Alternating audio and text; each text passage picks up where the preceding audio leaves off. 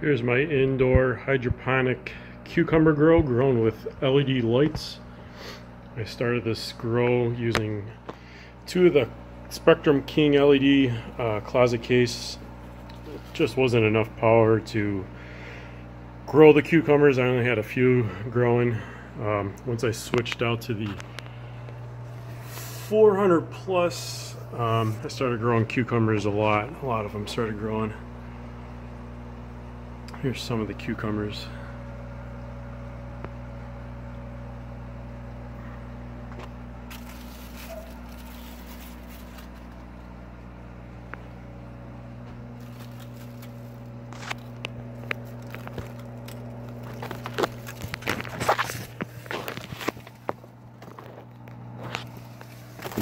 Even started growing above the lights.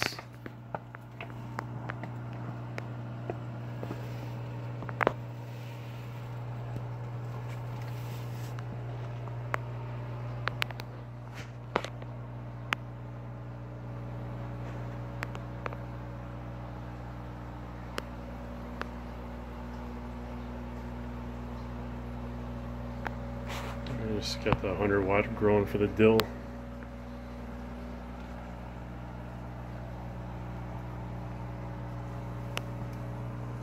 But